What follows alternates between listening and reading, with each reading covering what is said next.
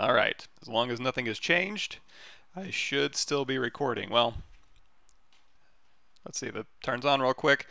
Um, and I don't have my green screen anymore because I'm moving, so I'm going, that's all packed away. I'm going to make this a little bit smaller. You guys don't need to see my stupid face anyways. So I'll move that down there. Okay. Uh-huh. And let's make sure we show up. And I'm going to be going over some quick questions today. I think this is all three or three connected. All right, so I'm going to assume everything's up and running. I'm going to assume my sound is on. Looks good. So let's get cracking.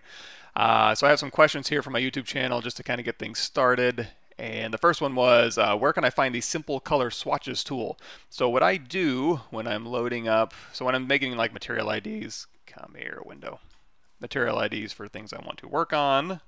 For example, uh, what's something we can, so in this series we were working on something like this. Wait for it.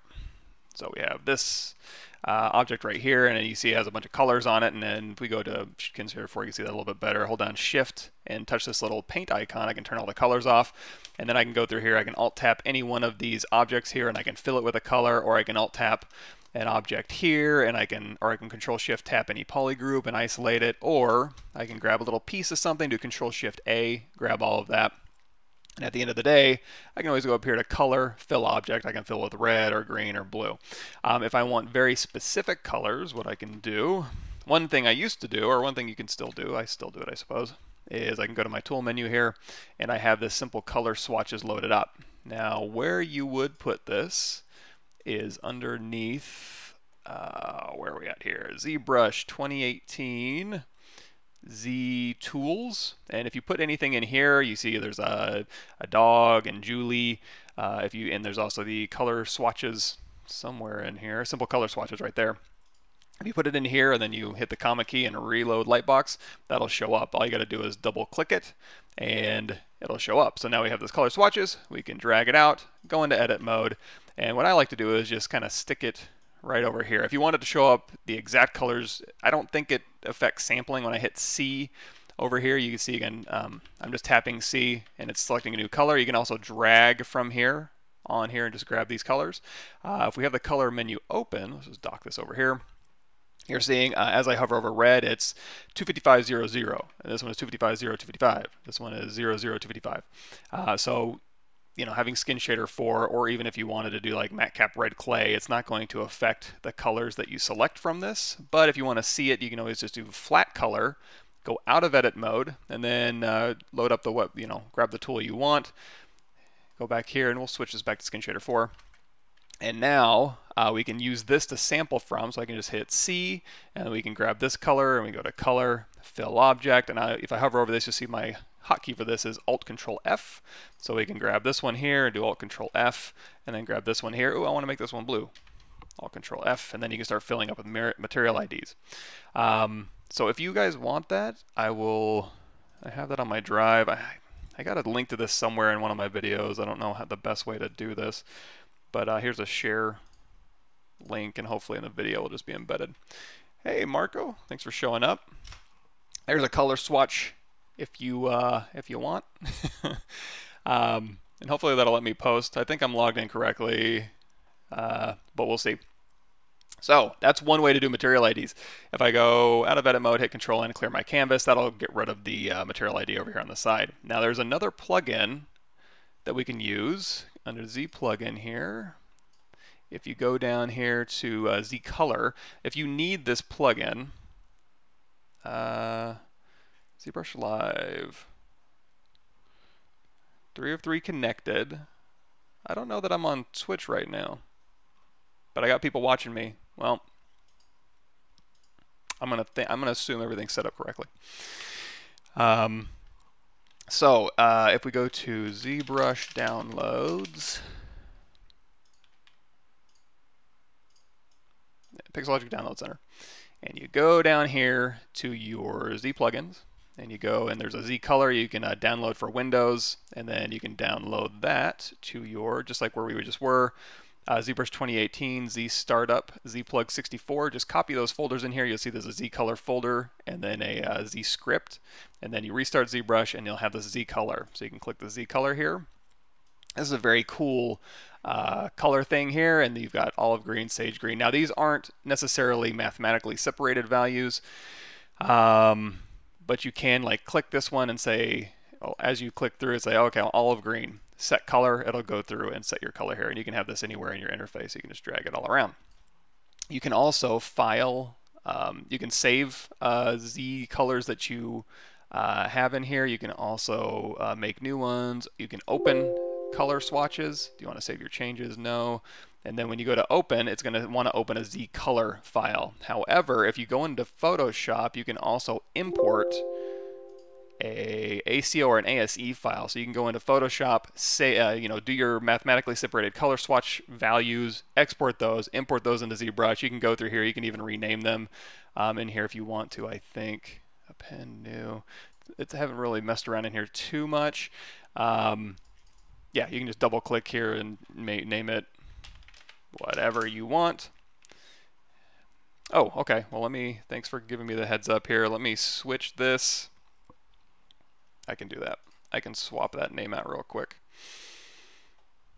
Let's see, streaming. Give me a second.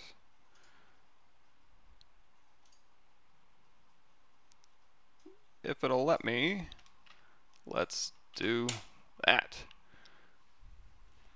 Cool, thanks for showing up. Uh, hopefully that changes the name for me. I don't know that it posted the last thing I wanted to, so I'm just going to cross my fingers on that one. And hopefully a bunch of people hoping to show up and watch Thomas won't be disappointed. Okay, so that was color, and you can use uh, Z color. There's um, there's other things you can do. I'm trying to remember. We have a plugin at work. Uh, I can't give you guys that, but um, you know that's that's one way to do color, or a bunch of ways to do color. Um, well, these certainly are informative. As a newbie, I find his presentations go so fast I cannot follow them. I wish YouTube had a speed control. So anybody, I mean, I assume everybody knows this, but sometimes you know what you happens when you assume. So anything, uh, so you know, you can go to my YouTube channel here, you can go to my playlists, uh, if you aren't aware, I have new that this new ZBrush for ideation. Uh, it's 55 videos for ZBrush 2018 that get you up and running in ZBrush. So any one of these we can go through and click and say, I want to learn about uh, ZBrush polypaint options. So we go through here and we're watching this. And if you go down here to this little settings, you're going to see speed. You can go through here. If you want to really slow me down, you do 0.25. I usually speed everything up to 2 just when I'm taking notes. So here's where you do your speed control, as well as if you, I think it's control or shift, yeah, shift and the period, and then shift and comma will slow down, and then shift and period, or it's the basically it's shift and greater than less than. So less than, greater than will also speed up and slow down videos. So just in case um, you guys didn't know that about YouTube, there you go. Uh, how do you switch back to model to edit again? Well, let me select the subtool and continue editing while I'm, I'm stuck. So if you ever jump out of edit mode here, which I actually did on purpose, so if I have an object here that I'm dragging out my canvas and actually it got in a weird state here. So I'm going to go to drag rect and that'll let me drag out and then we'll go to skin shader 4. Um, actually, we're in a we're in that um, dark gray state here. Let's do a quick restart here. Oh, you know what? I have Photoshop open. Let's see if I can do this. Let's go to Window, Swatches. We were talking about swatches earlier. So these one, these first ones I can um, go ahead and keep. Let's go in here to our editor here. Eh, boy, it's been a while since I've been in here. Uh, preset manager. So in here we can say, you know what, I like these first ones here. I'm going to grab all of these ones and we'll go ahead and delete them. Uh, and we're done. So if I wanted to save these as swatches, if I wanted to add a new swatch here, I think it's just a matter of right-clicking. Uh, let's go to another color here. So if I want to type in values, so um, let's say 255, 0, 0, that's red. Or, you know, let's do um, 128, 128, 128. Okay. And then we'll name this gray. And now we got this swatch, you can just keep doing that and making new swatches. Uh, once you've done that, we can go in here to our swatch menu, and we can say save swatches, and I'm just going to save it right in here, and we'll name it test ACO. So now that we've done that, we can go back in ZBrush, and you know, if we go back into the Z color, we can go Z color. I think this will work. File, import, and we want to go to that folder we were on, test ACO. So here's the test ACO. If you wanted to change any of these, like, hey, you know, I don't need RGB red, I can just do red, whatever. And if you're happy with these, now you can go to File, Save, and we can just throw this on our desktop. We can say test, this is going to be a Z color file. So now whenever you open up ZBrush, you can load up, you can go File, uh, Open, and you can just load up that Z color file. And again, this is just a window you can put anywhere. So. Hey Jimmy, thanks for showing up. Uh, right now I'm just going through some YouTube questions. I had like 150 comments and boy, uh, so here's the deal. I haven't been streaming lately. Um, I'm in the process of a bunch of stupid things and then also moving. So once I'm done moving and settled in, that's going to be early March. I'll be back to my regularly scheduled programming. Um, you'll also notice I don't have a green screen today because my green screen's packed up. So that's kind of where I am at personally. Uh, but hopefully I'll be back in a swing of things soon. But um, if you guys have any questions while you're watching, just let me know. Um, I'm just kind of going through some YouTube questions because I didn't really have anything planned today. Like, oh, I want, I definitely want to sculpt something today. So I'm just kind of going through some questions just to give myself something to do. If that's okay, but uh, again, like I said, you guys let me know if you have anything pressing on your minds, and we can do that as well. Um, oh, so switching tools here. So if we go through here and we go into edit mode, now the reason I usually grab a Polymesh 3D out of here is because I don't have to go to make Polymesh 3D. If you grab any other primitive out of this menu here, so it's like, oh, I want to work on a helix, and you drag it out and say, okay, I want to start sculpting on it. Uh, it's not going to let you because it's a primitive. You go down here to initialize, you can go through here and say, you know what, I want to change this first and then I can say, okay, I like this. Now make Polymesh 3D. You're going to see your initialize options have changed into your Z modeler options. And now you can go through here and you can do like group by normals and then isolate this top piece here, delete hidden. Then we can say, let's do a uh, poly group here and then here and then isolate these ones, delete hidden, stroke, curve functions, frame poly groups, brush, insert, curve. Go ahead and grab a bracelet um, brush, insert, curve M, and then uh, you know grab a bracelet or whatever, and then you can just frame this helix here. Uh, if you can't tap off on that curve, all you got to do is go into Stroke, uh, Delete, and then you can go Split Masked Points. It's under your Subtool Split menu, and now you have you know something that follows that helix curve. Now that was all uh, just kind of going through and showing the difference between Make Polymesh 3D and your initialize options that change. However, if you ever go out of edit mode, and sometimes I'll do that on purpose, like with the color swatches, I'll just go out of edit mode and leave it stamped on the um, monitor over here. First of all, it's going to leave a copy, so now you're just going to be dragging out copies on your canvas. Uh, if you're not in edit mode, just hit Control N, that'll clear your canvas. And if you ever accidentally, like I said, hit T or you go out of edit mode, all you got to do, you should be able to just go into edit mode again. If for whatever reason you can't, just hit Control N to go out of edit mode. Go over here, grab your tool. You didn't lose anything. Drag it back out, go back in edit mode, and you should be up and running again. Yes, uh, everything's everything's going pretty good, Bob. Thanks for showing up. Uh, I've just been so here's the deal. here's more of the deal. Uh, right now, I'm uh, what I'm trying to do is set up self-sustaining. Um, what's the best way to say this?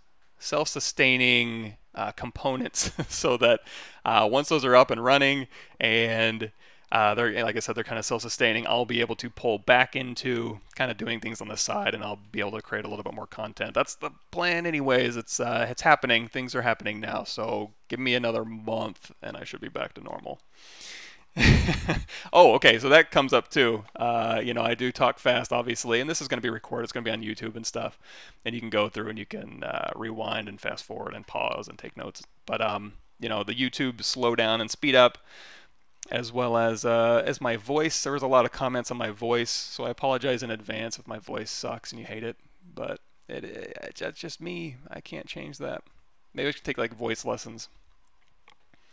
Uh, do you know of a way uh, one button way to save a mask. So there is kind of a convoluted way to save masks, but one thing you can do, uh, if we hit the comma key here, I like to use, you know, let's go into project and we'll load up this anime head. Turn off, turn off perspective, turn off the floor. Uh, and then, as long as you don't change the vert order, go in edit mode. Uh, you can go through here and you can make a mask or any number of masks. And if you go over here to your layers, again, you can't change the vert order in order for this to work. But if you save, uh, so we make a new layer and we're recording on this layer. Uh, if you hover over this layer, you're going to see we're able to save poly paints, shapes, and masks here. So if we go through and we mask out certain areas and you want to keep this, um, you can. So now if you just tap this uh, and your layer will disappear. However, if you go back into recording, your layer will turn back on. So you can you can kind of use that to store layers, but uh, that I don't really, I use it for blend shapes a lot, uh, but I don't really use it for layers. Uh, Hannibal, hey, um, Hannibal says, uh, I often find my poly paint. Uh, oh, no problem about missing last night. Hopefully the video gets posted soon. Yeah, he's on my he's on my, my CGMA class. Um, find my poly paint applies colors and dots no matter the stroke settings. The faster stroke, the faster farther the dots. Um, with Damien Standard. So when you're poly painting, yeah, that can happen. And so what we're doing, like we have a standard brush, we go to RGB here, and then we choose a red color, and then we start painting. And actually we're recording on this, so like I was saying, it'll also record your color, uh, but we don't need to do that, so we can just bake that. Uh, so we're going through here, and if you have a very small brush size and you start making really fast strokes, um, it's not leaving dots because by default, this stroke here has lazy mouse turned on with a step of one. If I turn lazy mouse off, then I'll start getting dots. So if you want, turn your lazy mouse on. I mean, you can crank that lazy radius up and you'll never get any dots. But um, if you change your lazy radius down to one, it'll be a very short line. It won't affect you too much. You can do, still do pretty good strokes and uh, you shouldn't leave any dots behind. In fact, on lazy mouse, if you start seeing dots behind, take your lazy step because you can force it to leave dots behind if you want to by changing your lazy step. Crank that lazy step down to a lower number, and if you go really low, I mean, it'll kind of make your brush lag a little bit, but that should be a very smooth uh, stroke. Uh, is the button on the left, uh, Triangle says, is the button on the left just under brush that says dots, uh, change to freehand or something? Yeah, so that's the thing. Uh, so also, sometimes the freehand stroke can work, but again, with the lazy mouse off, your computer will just kind of lag a little bit. Uh, but you turn that lazy mouse on. Another option you can do is underneath this here, this mouse average. So if you turn lazy mouse off, you're going to see this. If you crank that mouse average up, that will also kind of smooth out your stroke, but again, if you go fast enough, it'll be dots. So a couple different options for you maybe. Um, Jimmy says, any insights regarding the speed of modeling in Maya versus ZBrush ZModeler? Kind of depends on what you want to do and what you're comfortable with. Um, I personally, oops, um, sorry, color, fill object.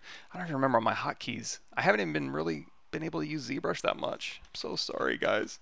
Um, so ZModeler. So any object you have in here, you can go down here. I like to initialize, start with a Q cube, go through here, and then we can go say, okay, Q mesh polygroup all. Let's go to skin shader for so you can see a little bit better. And we can start Q meshing this stuff out, and we can grab these faces here. The reason why I like Z modeling in ZBrush is poly polygroups here.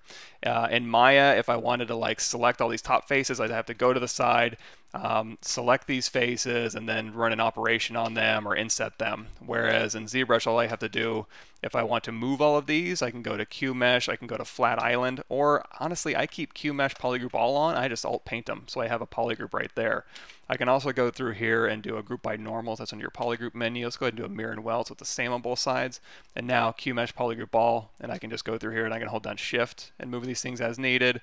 Um, I can move these things out. I can go through here. I can insert a single edge loop, or I can insert multiple edge loops.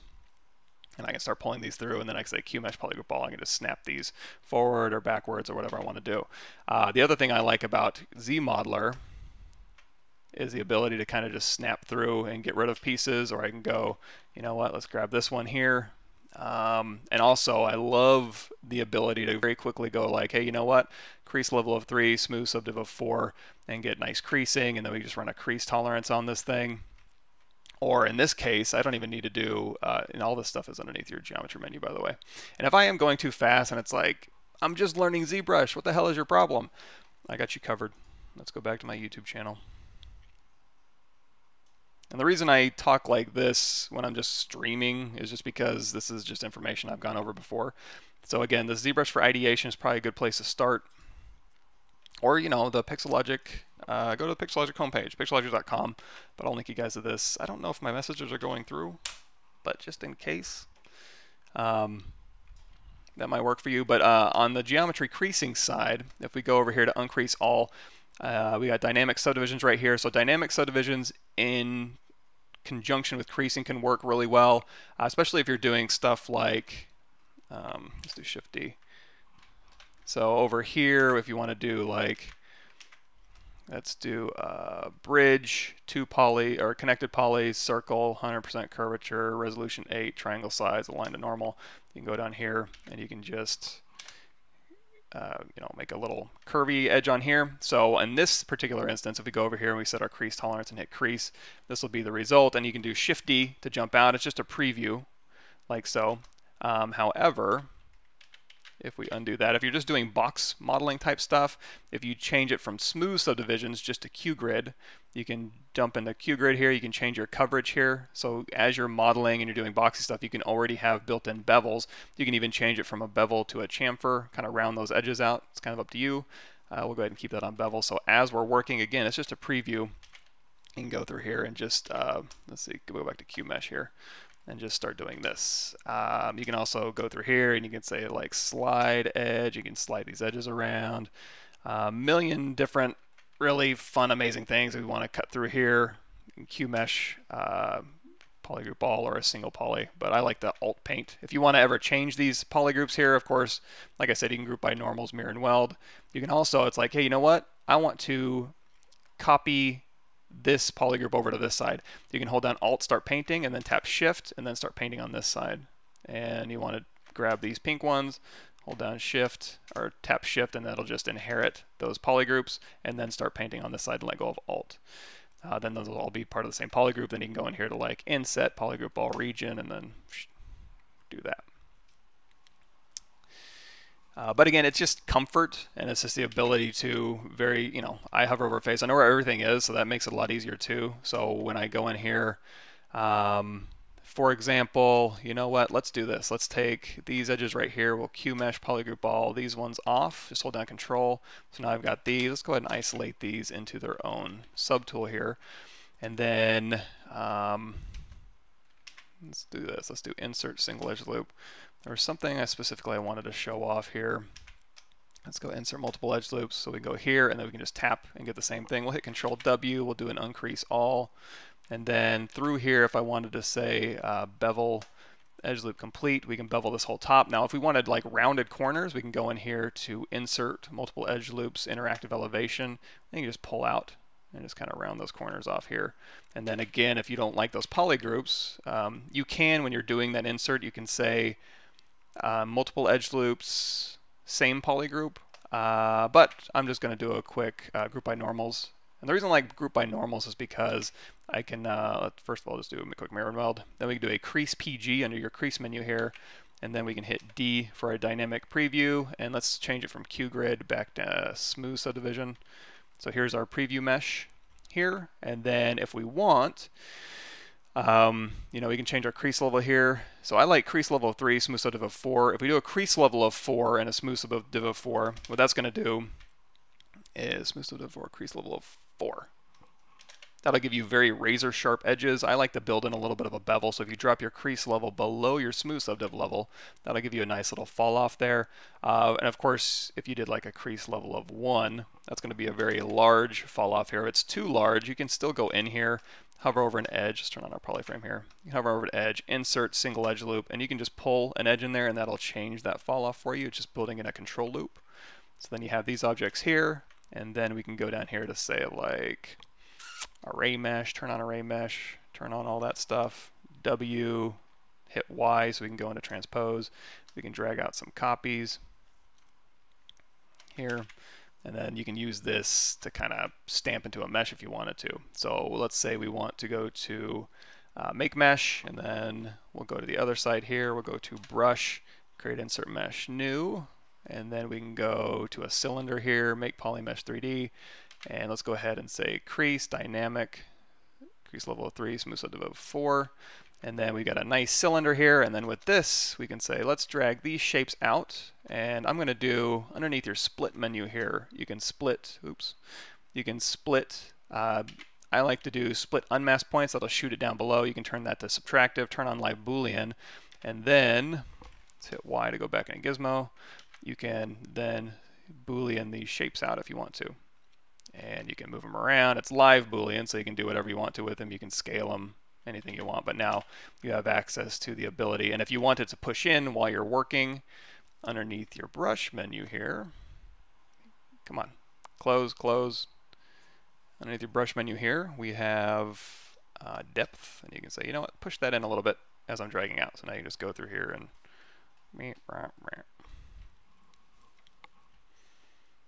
uh, can you bake the creasing in? You, it's just a preview in ZBrush, and if you exported it, uh, it would just export as the low-res looking one. Uh, but all you would need to do, for example, on this one here, if we do Shift-D, that's going to go back to our um, blocky mode. D is our preview mode. If you want to go ahead and say, you know what, I like these subdivisions, I want to export them, go down here to Dynamic Apply, and then that will be real geometry. You can go back through your subdivision levels, and that geometry is for real and then you can bake that creasing in though. Jenna says, uh, been missing you for a while, everything okay? Yeah, everything's good. Uh, I've just been swamped.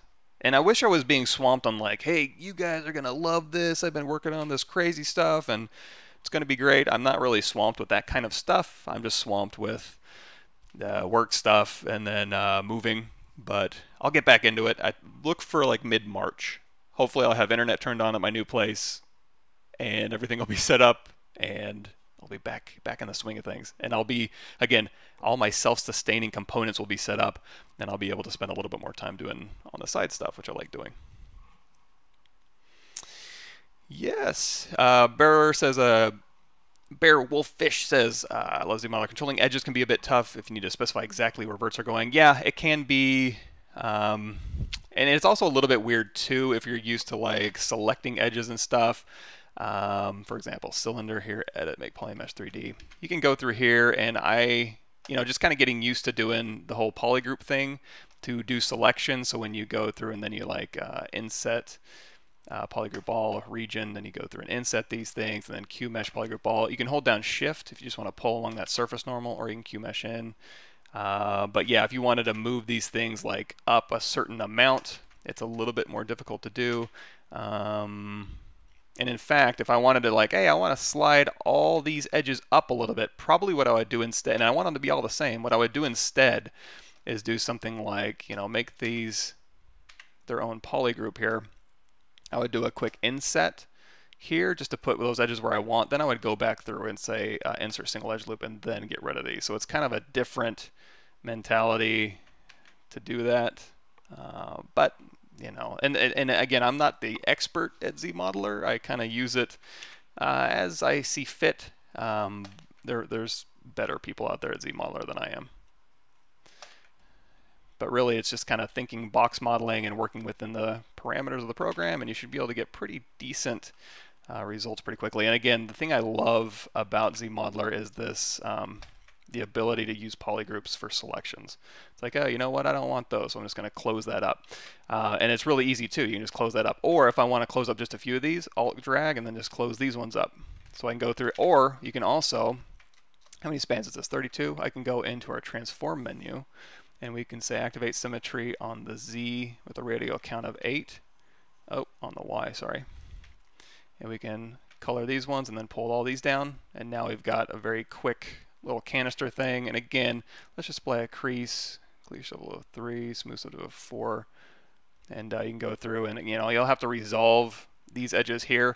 And in fact something like this I might be inclined to do something like you know what? Let's do this. Let's do Q mesh polygroup all and then I'm going to hover over these and we're going to say Q mesh these out.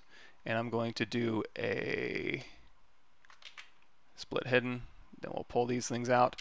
And on these ones, let's do a uh, crease dynamic. 3, smooth subdiv of 4.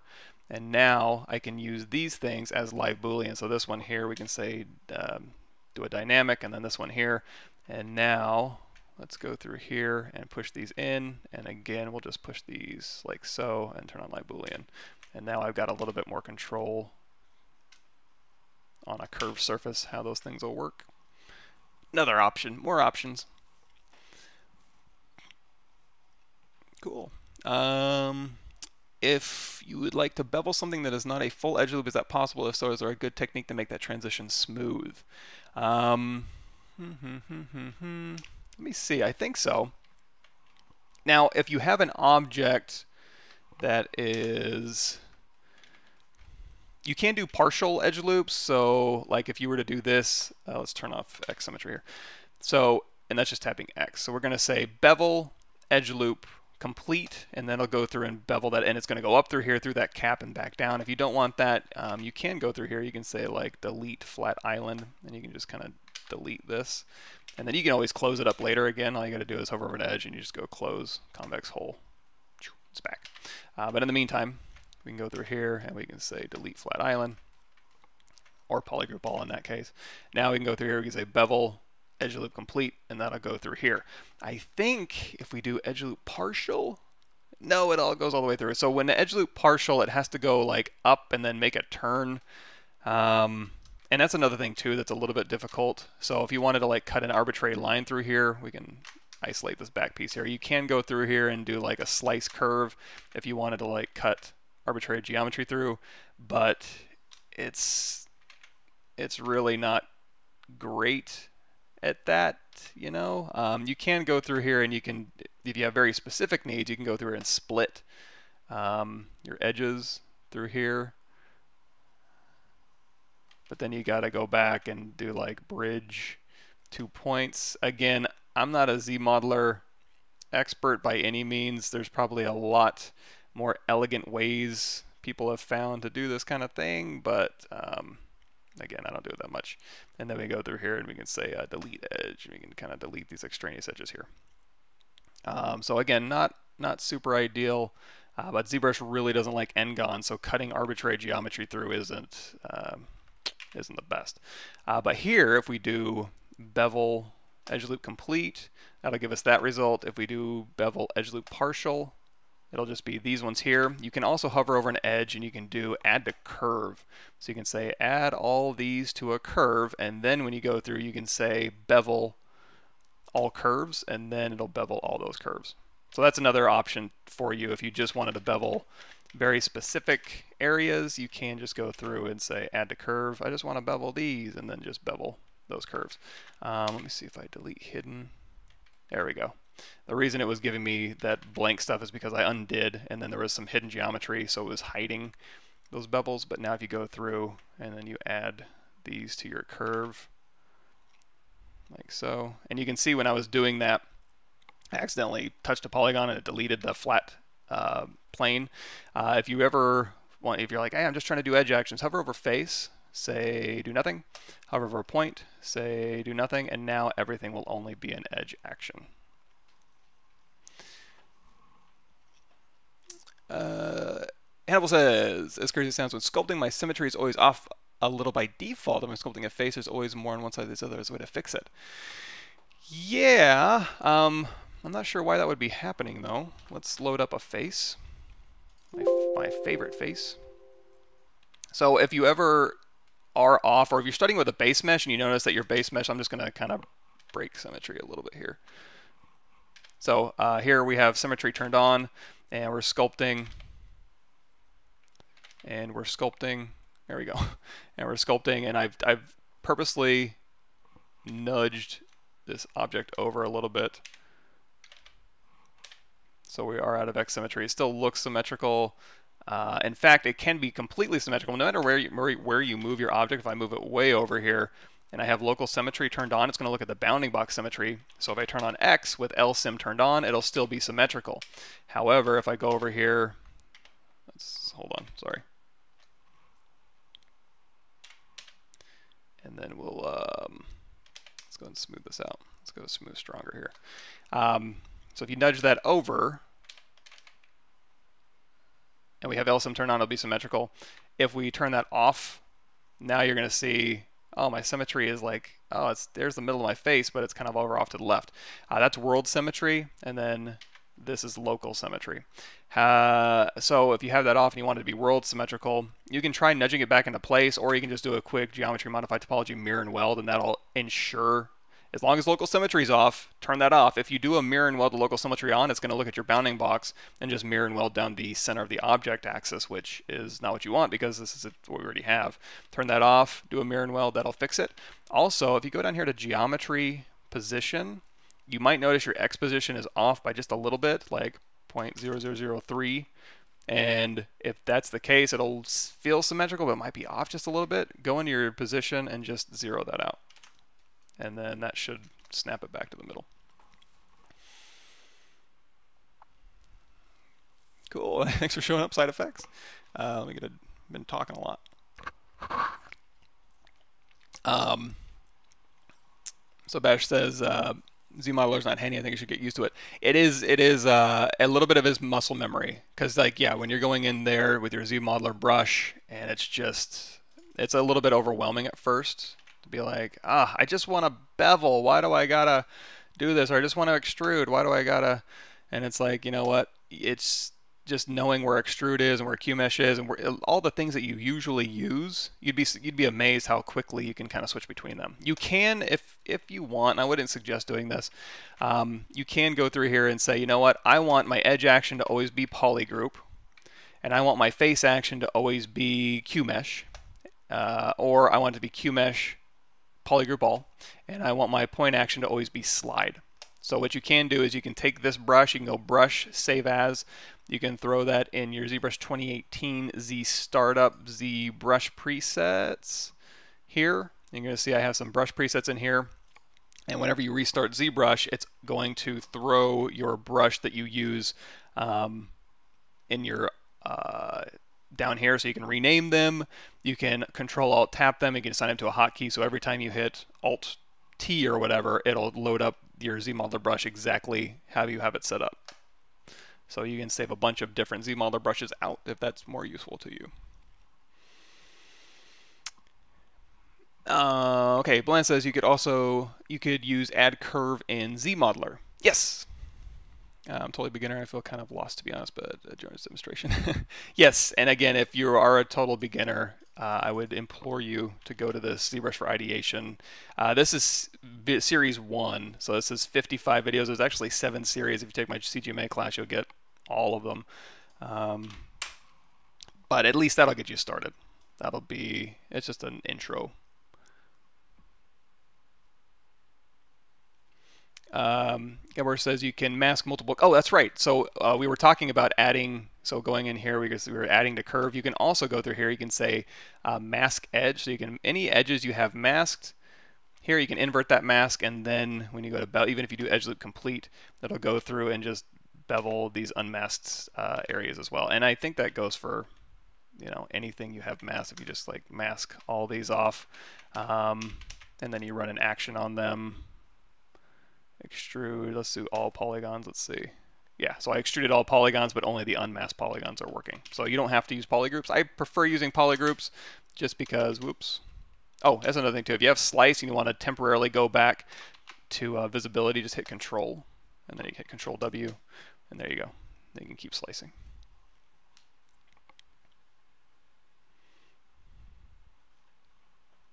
Hey Eddie, thanks for showing up. Yeah, I uh, I stream early.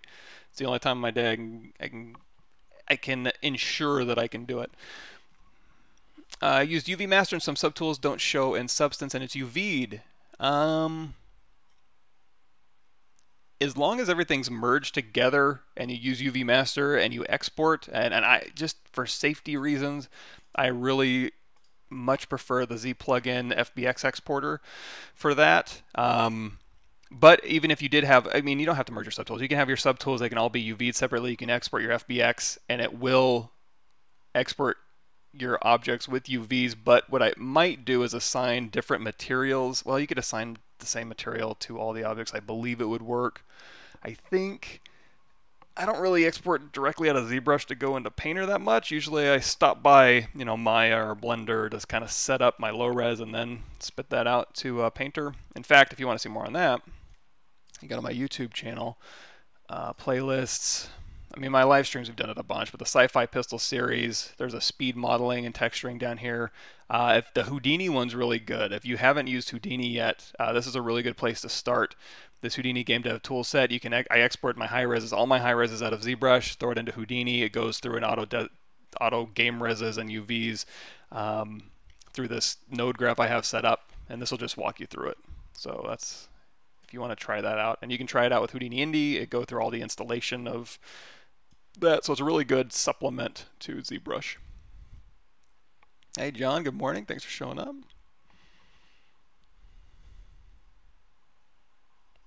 Uh, Hannibal says, uh, if you have a character in A pose, but his arms are pinned to his sides uh, and his lats are sticky, is there a way to unstick, lift the arm? Are you in trouble? Now, if it's Dynamesh, you're in trouble. If it's not, I mean, you're not in trouble. It's Dynamesh. You can just shove an object in there and delete it out and then just uh, kind of resculpt it a little bit. But let's say we have the demo soldier here. I don't know why I keep open Z projects. Turn all the stuff off, and then we'll do delete other. So this guy's arms are down and they are sticky. So yeah, if you have um, this thing Dynamesh together, he's just going to have sticky armpits and you're going to have to go through, let's do a quick mirror and weld, W, control tap, and then, you know, unsticky his arms and then just go through and, you know, like I said, put a, um, ooh, turn off dynamic. If you're ever if you're ever in an object and you're sculpting, it's like, whoa, lag, what's going on? Probably you accidentally hit D like I just did. That's just dynamic turned on, and that'll because what it's doing is previewing uh, 158,000 polygons subdivided three times, and then you're sculpting on it. So uh, obviously that's going to hinder your performance a little bit.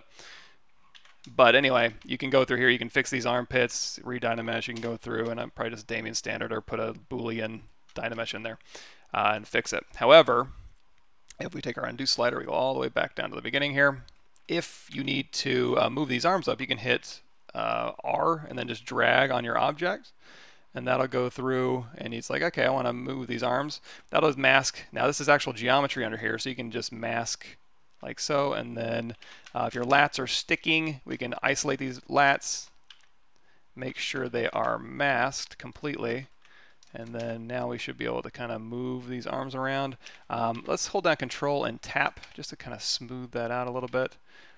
Now it looks like his his geometry is actually kind of just modeled because you can see there's just one edge ring in between his armpit there. So we can move those out. Oh, there we go. I guess it was just grabbing too much here. So you're going to see the more leeway we give our arms here, the more we're able to go through and hold down control. And it, if you just when you hold down control and drag, and you can do this with your, if it's easier to do with your transpose as well, you can just hit Y, go back to transpose, and then you, as you're dragging along your model, it'll follow your geometry, and then you can just rotate your arms out. Now, you probably will have to do some corrective sculpting here. The good news is with this polygroup setup, you can just isolate it, um, like so. But uh, yeah, Cool. So if I miss any questions, I apologize in advance. I'm uh, I'm probably gonna miss some as I'm scrolling through.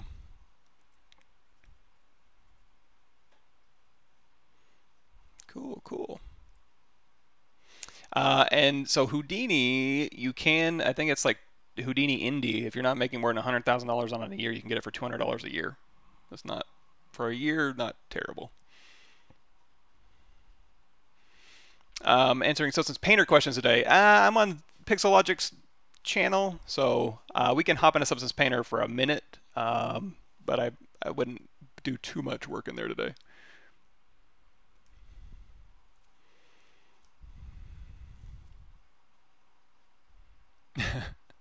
Um, I hit the uh, learning Z model. I hit the Z class in heart. Some of the stuff was way out of date. I wish I knew more about your YouTube channel then. Memorized about 70% of it. Oh, awesome! I, I need some. I need to go back and watch some of my YouTube stuff. I'll there's there's certain things that I don't do in ZBrush very often that I'll do once for a video or like, hey, what's new in ZBrush 4R8? And then I won't use it for that, that feature again for a year, and then I'll try to remember how to do it, and I'll fail spectacularly. But I try to keep it all up here. Uh, it doesn't always work. yeah, and uh, yeah. So far as, far as Substance Painter and baking, the Substance Painter, I just rapidly iterate through Substance Painter. Um, so the baking defaults is just what I use. Uh, if I want to do very, very precise, specific baking, I use Marmoset. So I don't know if that helps you at all, but um, Marmoset gives you a lot of control and a lot of error painting out and stuff like that. Just in case that's an option for you. Um, cool. Uh, 3D model animation, the video series. Okay, kind of. So what he was referring to, uh, if you guys missed it, Google ZBrush Summit Pavlovich, I think. There we go. So uh, there is a ZBrush Summit thing I did called uh, Using ZBrush to Facilitate Smarter Production with Certain Affinity. And if you go through this video here, uh, you'll see there's a cinematic kind of through the middle of this thing here. And so the making of this cinematic, let's let that fire up here.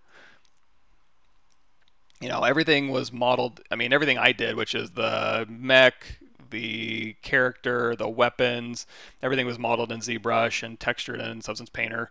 Uh, I didn't do that. I did the basic texturing, and then Christian Gallego came in on top of me and textured everything really well. Tony Reynolds sculpted the face.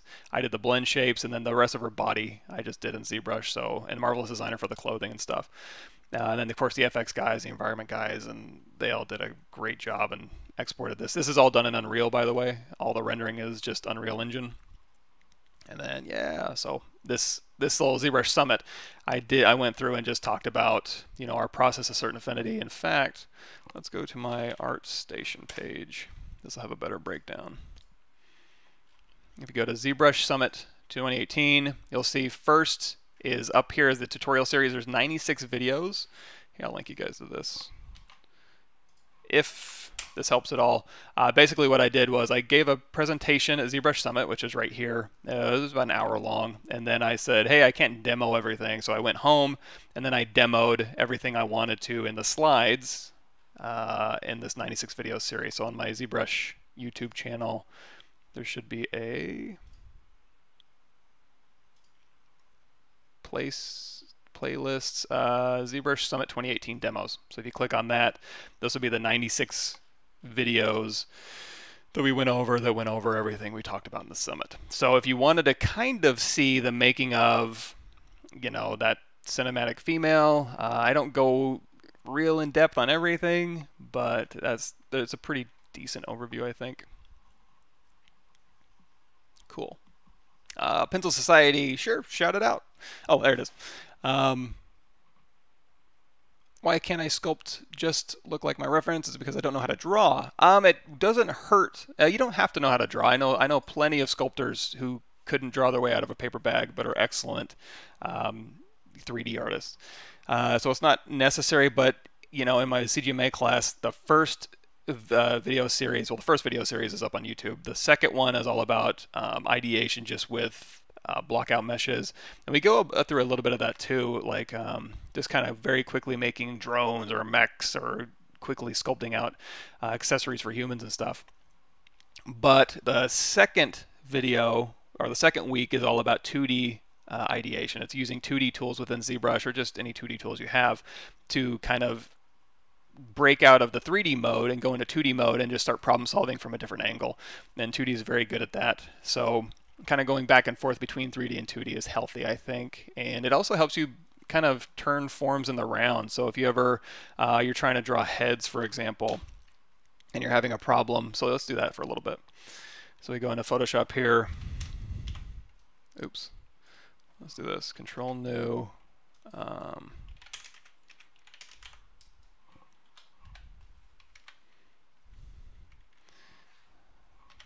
So we want to start drawing heads. So you'll know you start out with a sphere, and then we need to know which direction the head's going to face. So we're going to kind of put a midline down, and then we're going to go a hairline, brow line, nose line, chin line. You know, and this, this since we're on the three-quarter view, if I cut through here, we can start putting in a jaw, and then we can have the face kind of hanging out. Let's go ahead and zoom in a little bit more. And then we can put in the side of the plane of the face, and then the cranium's back here, and then the neck's going to come out the bottom. Um, you can see I'm a little bit rusty with my drawing here, but you kind of get the idea. And you can even just start out with a face shape or a pill shape or whatever you want. You can just start out with a shape like this, and then you know you need your midline. And then you know the middle of the face is the eyeballs here, and it's going to wrap around, and you've got your uh, temple line over here, and then your nose, and then your mouth here. So as you're going through, you're in your brain, or you know you're constructing your face so that you're turning your um, turning the object in 3D. So like when I'm drawing this ear, I'm thinking of it as a wedge that kind of curves in on itself. So this, it's like this. So here's the wedge shape of the ear, and then it curves around like this, and this will be all shaded. Uh, same thing for the head. It's basically a ball with the edges cut off, and then with a midline here, and then we've got the front part of the face. Um, Sinix has a really interesting tutorial on faces where you just go through and you make a piece of paper, and then down the middle you know, you put your midline on here, and then in the middle of the face, you add a uh, nose, and it's going to be kind of like a nose like this. I'm not doing it much justice. It's, his tutorials are better than mine. And then over here, you can go and put the eyes and then the mouth here. And then this is just a way to get you to think about draft of the face and, you know, how these things work in conjunction with each other to kind of turn that face in 3D. So as you're putting your jaw, and then you can just, of course, fill out the cranium and the neck and stuff. Um, getting these things to wrap around a, a shape here. So as we're doing this, we're going through and put the glabella and the nose here and go through. And again, the mouth is wrapping around a cylinder here. So you're thinking in 3D and you're wrapping things around a surface here. Um, you can also, you know, kind of simplify this down into here's the mouth shape, and then you put your little divot in here, these two divot down, and then these ones, the mouth, the upper lip kind of overlaps the lower lip here. So you can kind of use this to kind of go through and, you know, tuck that lower lip down into that upper lip like so in a 3D type view. So it's again, it's wrapping around that cylinder here. Now, just because you're doing 3D and you're like, I know what a cylinder is, I know what a sphere is, give me a break, doesn't mean that you would necessarily be really good at drawing um, in 2D, it's really is something you would need to practice here. Uh, you know, and even like wrapping eyeballs, you know, and how far back the you know brow is from the upper eyelid, back from the lower eyelid, back from the uh, cheekbone, all that good stuff. But you know, once you get and here's a cranium, and then the neck here, and this this will be the traps and stuff, uh, and then the hairline here, and then the and going a little bit fast, but you get the idea. Now once you have this sketched in, this is just a constructed face, then, oops, let's do this. Uh, new layer, make this background layer. Let's drop this layer beneath. Let's do default X, fill, and then we'll drop this down. So it's like, okay, I've got my sketch done. Then over top of this, we can zoom in. And then, uh, you know, if your lighting's coming from, you know, this direction, you can do, uh, you can start going through and just start putting in, you know, what you're gonna, you know, fill in those brows, and then, you know, this side of the nose is gonna catch that shadow here, and then the corners of the mouth are gonna catch shadow, and the chin, and then the eyeballs, and then this side of the brow as well. And this is, you know, wrapping around the face, and then the ear over here, you know, this tragus and antitragus, and this wraps around. So it's a little bit of anatomy, it's a little bit of turning forms in 3D space. Again, I'm not, I'm certainly not the master of any of this stuff. I'm just, I'm, I'm always a perpetual student. Uh, but you get the idea. This is, you know, you've got the, the brow of the orbit of the socket here, you know, and here's the nose tucking into the cartilage of the face here and your philtrum and all that good stuff and shading. Uh, I don't have a really good pin set up right now for shading in ZBrush or um, Photoshop, but that's the idea, and this would catch some shadow too. So we've got our head in here, something like this, and of course we want to make them, you know, looking at the lights coming in this way, there's going to be a cast shadow here, and then his pupil, that light will hit, and then this will be dark on the top, and then it'll scatter um, to the other side because you know you've got your eye here there's the lens and then your pupil sitting kind of at the bottom here so when that light hits here it's going to scatter to the other side. So all of this will be dark on your lens and then it'll go to light like so. So that's why the light would scatter that way. Now, eh, little eye bags and little uh, stuff and put little, you know, labial folds and all that good stuff. So that's thinking in terms of 3D and turning forms in 2D. However, when you, if you want to practice that, um, you know, this is really good practice. You can go into ZBrush and everything, all of that stuff that we were like, okay, constructing and putting a midline and making sure we have draft to the face, it's all automatic. So when you're sculpting, it's automatic. You don't really have to think about it. Even symmetry, like, okay, I've got an ear over here, I've got an eye here. How do I make it the same on this one side? You have symmetry turned on, so it's just automatic. So the good thing is there's a lot of great stuff you can just do uh, in 3D, like symmetry and shadows, how shadows work. If we go down here to like a basic material here, and let's go ahead and turn on dynamic subdivisions here. And we'll turn on perspective and we'll say we'll go to our light menu here. Mm -hmm. So if you're if you're if you're learning how to do like core shadows and highlights and bounce light and all that good stuff, all of that takes a lot of practice and skill. But in 3D, it's literally just moving a light around, and those core shadows update as needed. Uh, let's go ahead and put in a little fake bounce light here. Is it this one? Yeah, that'll work. So you know, all that's kind of set up for you. Uh, however, it is good practice though because you can, let's go ahead and we'll go back to our Matcap Gray. Uh, if you're just learning about how to turn the forms, you can just go through and you can be like, okay, I'm going to stay, or you can just do this. You can say, I want to do a front view here. So we'll do Shift S, and then I want to do a three quarter view here, Shift S. I want to do a profile view here. If you turn off perspective, you'll get a orthographic profile, which might be a little bit better. Shift S, and then as you're moving this thing around, you can move it down, you can move it up, and then, so for example, we can just break this part down. So we'll do, um, let's do print screen. I'm gonna use Greenshot to just kind of grab this here. We'll say copy to clipboard. Drop that opacity down, and then just everything we just talked about, you know, you can start with your sphere here. Let's zoom out a little bit because I'm bad at drawing circles here start with your sphere. We'll go ahead and uh, clip off that side of the head over on this side. And then, you know, here's the midline of the face we're going to follow down. And then uh, this, this is actually go back here. This mid part of that sphere, this would be the face plane here. And then here's the middle of the face, which is your eyeballs. Above this is your brow line, and then you've got your hairline, brow line, nose line, chin line. Those are all evenly spaced. Uh, the midline right here is your eyeball line. And then this is where you go through and it's like, okay, here's the, the brow, and then your eyeballs are spheres in here, and then those lids wrap around those spheres, and then your nose goes back to your bridge, and then your mouth here is wrapping around that cylinder or that tennis ball of your mouth. So that midline is kind of misleading because it goes here all the way straight through when in reality your midline is more of a you know so if you start out your midline like this it's going to be a little bit misleading because in reality your midline goes here There's, let's say it's your hairline and brow line nose line chin line it's going to go down and then your nose is going to come out. That's part of your midline here and that's going to go around your mouth curve and then around your chin curve. So that's your real true midline. Your other midline just goes straight through. It's kind of it's going to throw you off a little bit. And then you know here's your one eyeball here's your other eyeball. Midpoint down from the eyeball goes to the corners of the mouth. So here's the corner of your one mouth here's the corner of the other side of your mouth. So you might when you're starting out you're like okay this is you're only going to see very little of that other side of the mouse mouth. But when you're starting out, you may be inclined to be like, okay, now I'm going to draw a mouth.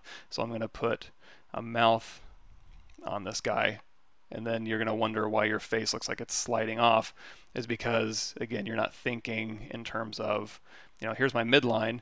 Uh, if these are, you know, let's say this corner here is equal to that corner there. So it's a very short transition here. And then there's my midline here.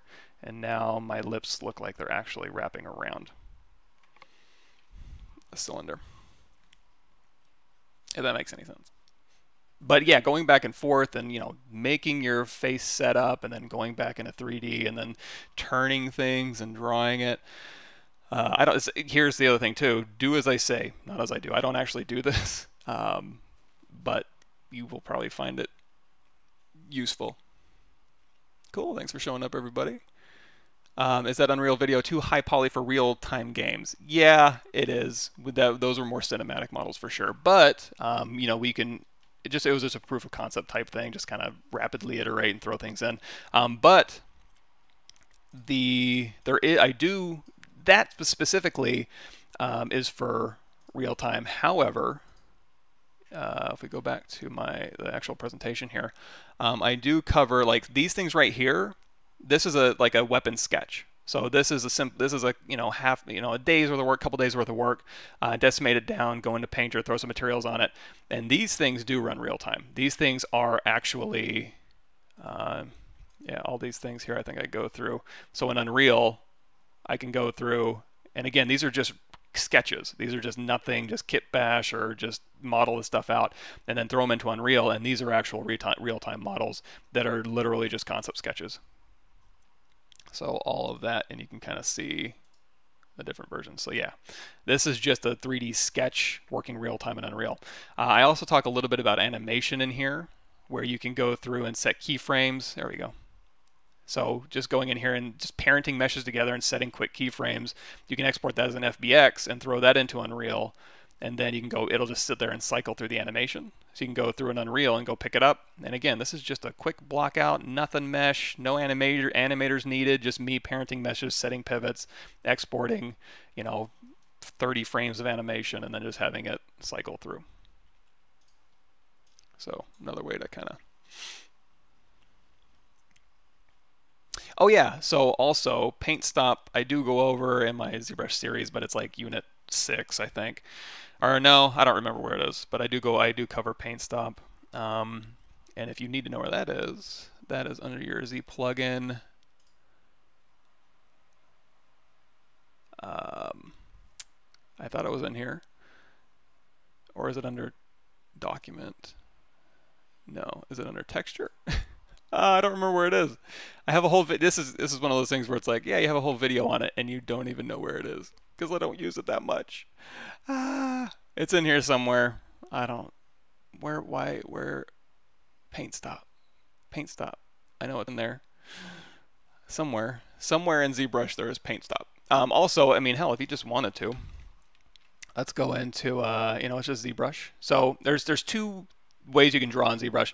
Uh, there's a quick draw is that in here somewhere? That's why can't I remember where these things are? I moved it off of my main uh, interface here. Oh boy, this is where I look really dumb. Um, there's PaintStop and then there's another thing that will basically set up a little drawing. It'll frame your mesh and it'll draw, you know what, but honestly, it's easy enough just to grab a plain 3D here. Um, make it a poly mesh, and if you want it to be a certain size, let's hit Y here, you can say, you know what, I want to work on like a landscape mesh. Now, you in, when you're painting, you want everything to be nice and evenly divided. So let's go down here to our geometry, ZRemesher, and we'll do um, same data size down to zero. And we'll just ZRemesh this, get nice even cubes. I don't know why that messed up. Let's just do a quick mirror and weld. Uh, and then now we have our paper set up. So I'm going to go in here to our subdivide. I'm going to turn off smooth so we keep our corners nice and sharp. Those don't average. And then we just subdivide this mesh up. So now we can turn on X symmetry. Let's go into Skin Shader 4. We can choose a black color, turn on RGB, and then, oops, turn on RGB.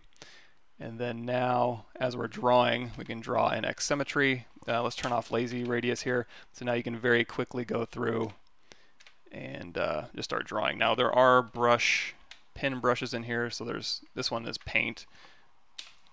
Um, there's Pen A, Pen Shadow. You can go through and get cool effects like that. But for my money, you know, you can just use, um, now here's the thing too, if you just want to like quickly go through and be like, okay, this is the face I want to make here, and I'm just going to quickly sketch. Uh, you can, of course, make your brush size bigger, and you can go through and you can shade pretty easily. You can hold down Shift, just turn off Z-Add, and you can blur things out, and then um, go back in and you can kind of paint, and you can choose different colors, of course. But um, let's say we're just going to do a very, let's do a very broad um, uh, painting here, I suppose. And it's like, okay, now I've got my sketch in here, and maybe we'll do some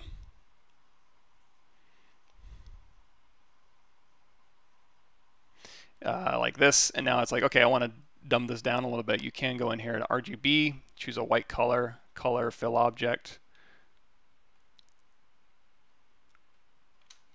Uh, my color menu doesn't want to open now. Okay. I'll do Control Alt F. But that wants to fill everything. Oh, there we go. We can fill, you can just knock that back a little bit, turn it into a sketch, and then we can go through here Let's turn that Z intensity back up. And you don't have to do 100% intensity. Uh, and then you can go through here and you can kind of, you know, do a little cleaned up version of whatever you're working on.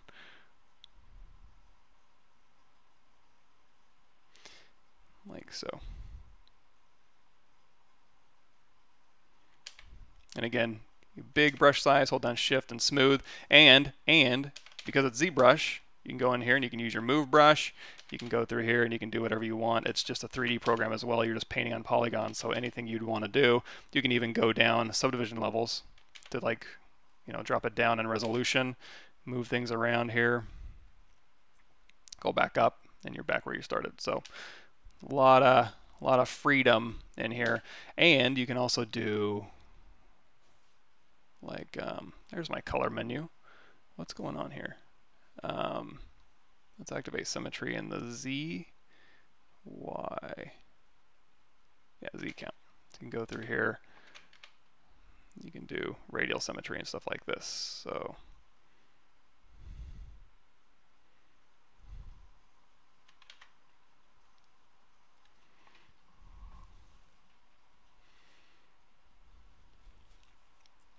Uh, says, what's form in sculpting? Someone told me if you're going to want to have a good sculpt, you got to do forms.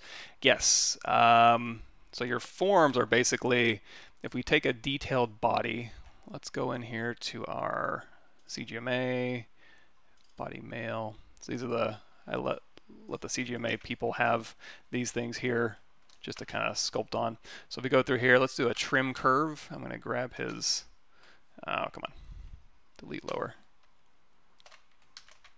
So we've got our object here, and then let's go ahead and say quick mirror and weld, X symmetry, and Dynamesh. So here's our high-res head, and we're in here, and we're sculpting. But in order to make sure that we're building on a nice foundation, you want to worry about your forms first. Your forms are essentially, the lower the resolution we go, the more you're, only, you're going to start seeing your forms. You're getting rid of the detail, and you're going back to just the building blocks building blocks of how your um, mesh is set up. This really doesn't want to drop anymore. There we go. So essentially, at its bare minimum, your head is an egg shape, right? In fact, let's simplify this even more. Let's go through and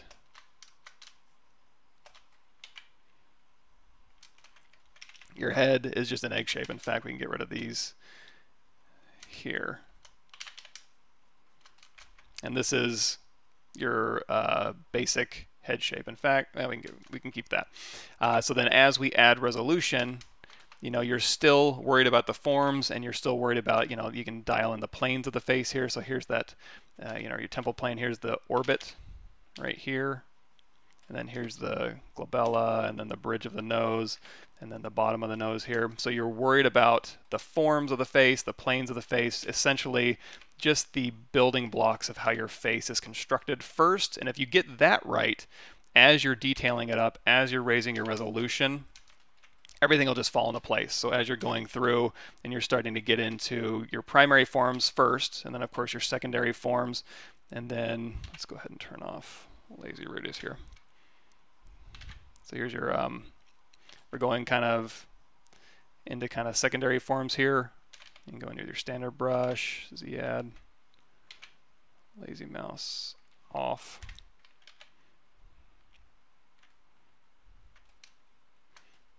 And then, you know, keep raising that resolution. And then now we can get into secondary forms here, a little bit of a philtrum, a little bit of that lip ridge that's here. And then we can and you know, again, looking at the draft of the face, you're not sculpting it on a flat plane. You're going through and you're making sure that everything is right. And you know, again, the planes of those faces are correct, and the the proportions are correct. Uh, all that good stuff leads up to a good sculpt, as opposed to, uh, you know, just trying to sculpt on a, a cube. So if we go down here to initialize QCube, and we dynamesh this thing, it's like, okay, I want to make a face. So I'm going to go through here, and I'll use a clip curve brush, and I'll kind of get a kind of a head shape going. And let's say this is the face we want to make, and then, you know, we know the middle of the face is going to be the eyeballs here, so I'll go ahead and dial this in. We'll put in some sockets here, and then our brow is going to be above that, and then our nose is going to be here, and then our mouth is going to be here, and then, you know, here's our brow ridge, and there's our nose, and there's our mouth, and there's our labia folds, and if you're only sculpting like this, and if you're in 3D, that's what your face is going to look like. Not real great. You know, you're in 3D, don't worry about all that stuff just yet. Worry about the forms of the face. You know your face is going to have draft. Um, if you put your hands, so here's my hands. I know my, I guess I can blow this up a little bit. So you have your hands like this, and you put them up to your face here, and then you take them off and you look at it. Um, that's how far back from your nose to your cheekbones your face goes. So you want to make sure you build that in. Let's go ahead and shrink this down. Yep. Again, sorry about not having a green screen today. Everything got packed, so you want to make sure that draft is built in. And even just doing something as simple as that will help immensely, even if you do just stay in this view and you start, you know, modeling the eyeballs here, and then do the brows, and then the nose, and then the um, mouth, and then the cheekbones like so, and the brow ridge right here. Even just doing that, already your face is better. You know what I mean? Now, of course, again, before you get to all this stuff, you want to make sure your forms are correct. So that's when you go in and you know you try to you can use a trim trim dynamic and sculpt these things down a little bit. And of course, the cranium for the head. You know, this very upright cranium, we can lean this back for male. We can keep it upright for a female, get rid of the brow ridge. We can do a female head. And then back here, it's like you know, this is going to curve around, and then this is going to be your jaw here. And then your neck is going to be a cylinder. You can kind of dial this in. I'll go ahead and split. And again, when we're talking just forms, you know, the neck as a cylinder is perfectly fine. And even the head here, we can trim that off. And again, you're always working in the round in 3D. Obviously, I mean, why wouldn't you? You have the ability to. It makes things so much easier um, to just be able to go through here and just check everything from every angle and make sure that, you know, you're working. Thin this chin out a little bit here.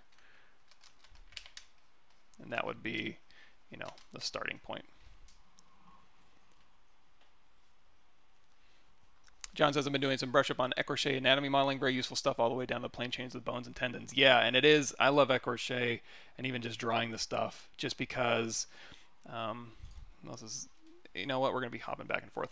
So even on this type of thing too, you know, where you start out with like, you know, here's the cylinder of the arm here. So here's here's my arms down to my wrist. Uh, and knowing the origin and insertion and how things work and being able to turn forms as well, if we take this one down and how things wrap around, you can start, you know, wrapping the deltoid around here and then the bicep and then the tricep and then down here to the ulna and then the brachio uh, radialis through here, your ridge muscles, and then your wrist and then your flexors and your extensors up here. So it just it's it's easier once you start getting into, and even like the rib cage here, you know, here's my uh, kind of egg shape for my rib cage. Here's the midline of that rib cage. And again, we're thinking in terms of how forms are turning and this kind of slightly tilted down. And then if you wanted to add, you know, here's your sternum here. and then you add your pecs to this, and your pecs are going to wrap around this rounded form here, and they're going to attach. So here's our clavicle, and then your pecs are going to attach to your armpit here. So your ulna is going to sit kind of in here, and then your deltoid is going to go about halfway down, and that's going to overlap. There's going to be a little cavity in here where your deltoid goes down, goes from the clavicle around the acromion process down this uh, spine of the scapula there, and then halfway down the humerus. And then down here is your serratus anterior, which is actually going to wrap around and connect to the back inside of your scapula.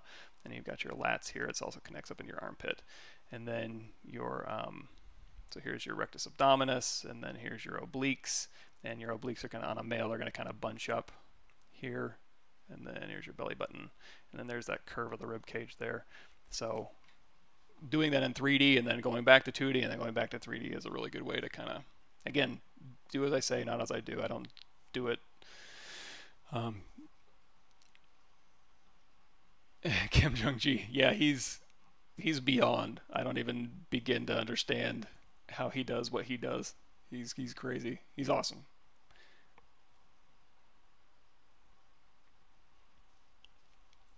Uh, Loomis heads, yeah, uh, that that was kind of the Loomis head method. Is is very, I, I want to say like the Loomis head is that constructive ball method where you slice the ball off. Um, of course, that's not the only way.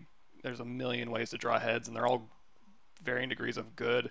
Um, there's also like um, there's constructive method. There's the uh, Reilly abstractions, and they're all good to learn. And again, I'm I'm still I'm learning all this stuff, but the ability to kind of go through and um, you know just get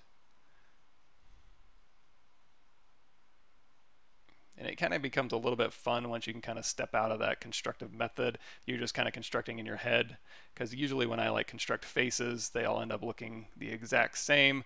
Uh, but then when you kind of free yourself up a little bit you can do some little bit wackier stuff and start um,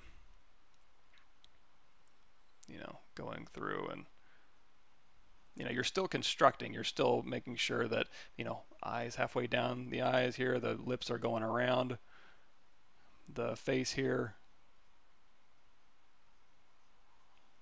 And then the cheekbones are back, set back and stuff like that. So, you know, as we're doing, let's put some big old eyebrows on this guy. And we'll make his hairline a little bit receding here. And you know, brow to the nose is still your ear line here, and this ear is still going to wrap around in 3D here, so we're still going to kind of do that kind of thing. And this is all stuff you could take right directly into ZBrush if we wanted to model this face. Let's go ahead and do that. It's like, boy, I love this face. It's so good. Let's go ahead and make him for real in 3D. So we can take this face into ZBrush and we can say, okay, let's do a quick print screen save as onto my desktop here. We can go back into ZBrush,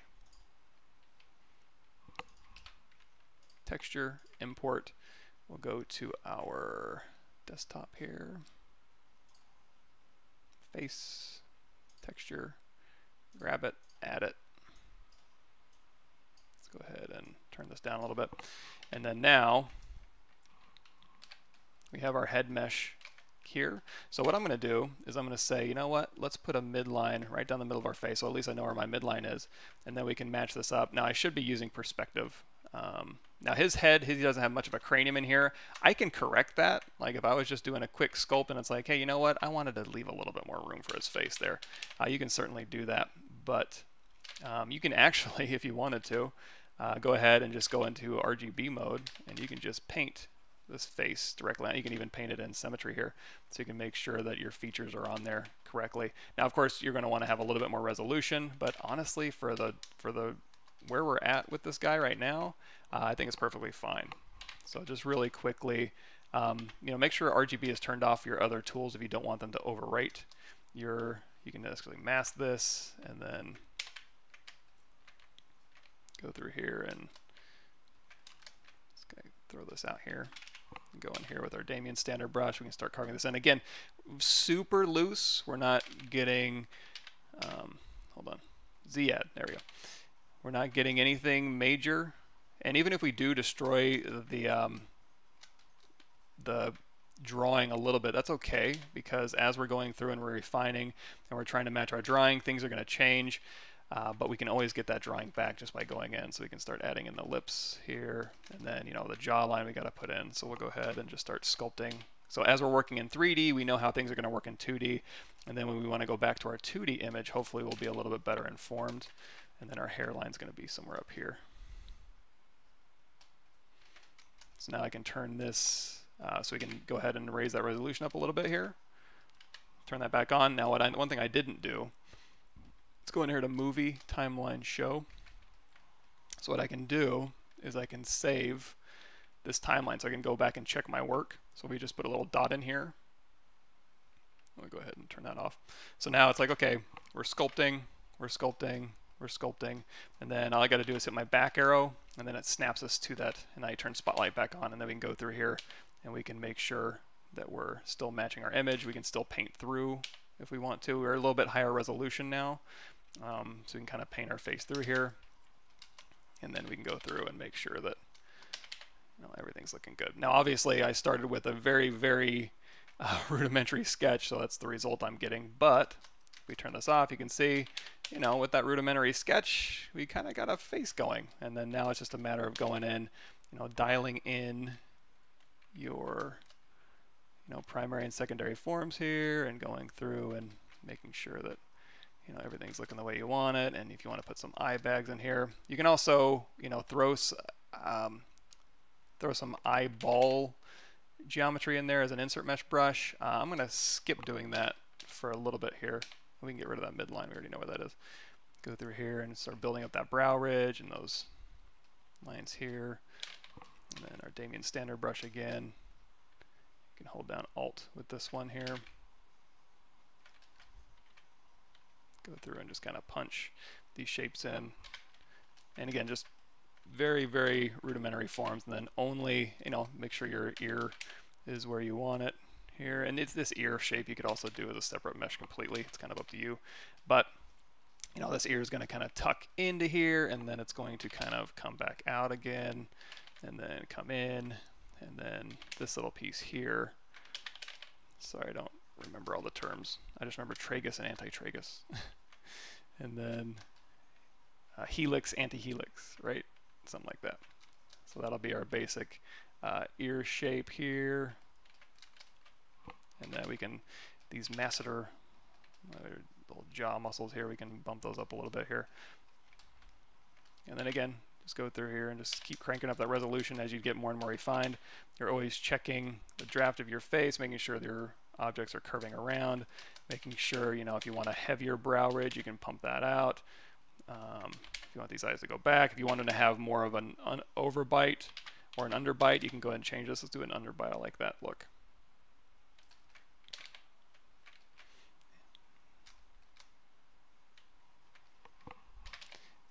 And the other cool thing is in 3D, you know, you can save copies of this out. You can save layers. You can go through here and you can like, um, you can pinch features. If you want to say, hey, what would he look like with a little nose? Or you can inflate features. Uh, you can move features, obviously. So we can go through here and we can say, guy with a nose like this. Uh, let's give him a little bit of a smile. You can, and again, going through and you can pinch his face, pinch his face, move stuff around. And again, just keep refining. So the lips go back in here. And go ahead and put some little, little bit of meat there underneath his lip. And we'll go ahead and refine his lips a little bit more. Carve in.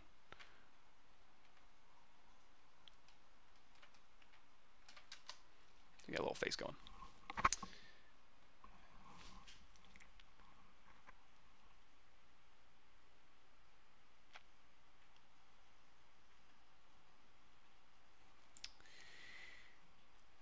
Cool.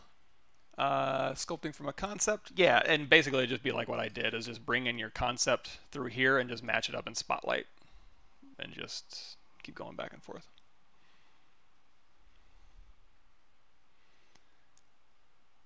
Um, Bob says I'm having a hard time entering into local company for game design. So for the design side, I'm, unfortunately I don't have too much for you. Um, but on the art side, I do have, and again, this is just my basically my opinions. So if you go to my blog section here, I go through like, do you? I'll go ahead and message you guys this. Uh, do you need a college degree? Uh, and again, I don't really have an answer. It's just my experience, and it's 10 years old now, so it probably isn't applicable to anybody. Uh, 2D versus 3D. Um, how to break into the games industry. Again, just my opinion. It may or may not be all that useful to you. Uh, I think there was another blog in there somewhere, but um, you can check those out. And for what it's worth,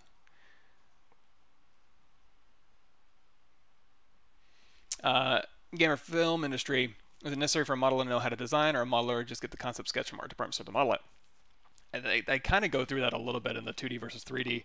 Depending on how your company's set up, you're going to get a concept, but the 3D modeler is always going to have to interpret. Uh, the better you are at interpreting and interpreting successfully, uh, and interpreting successfully is all based on design skills and design fundamentals. So the more you know, the faster and better you'll be able to interpret. And ideally, you're taking a concept and you're elevating it.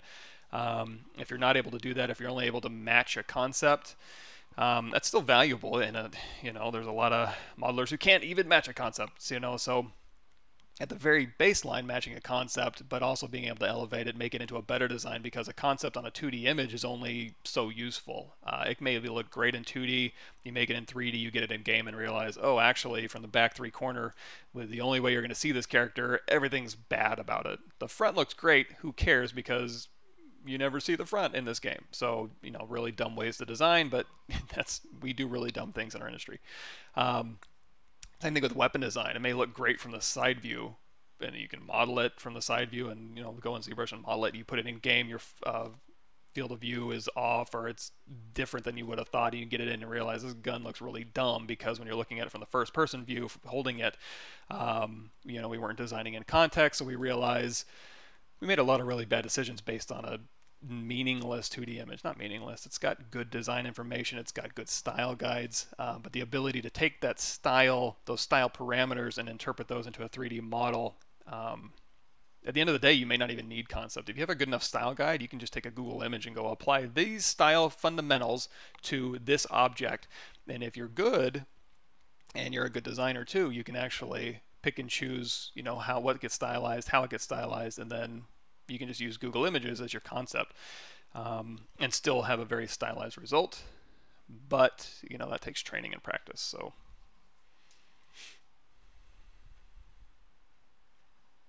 But I mean, you can certainly get your foot in the door just by nailing a concept for sure. You don't need to be a you don't need to start out as a great designer. And in fact, I'm I'm not I'm not a great designer, like even close. So I'm still learning.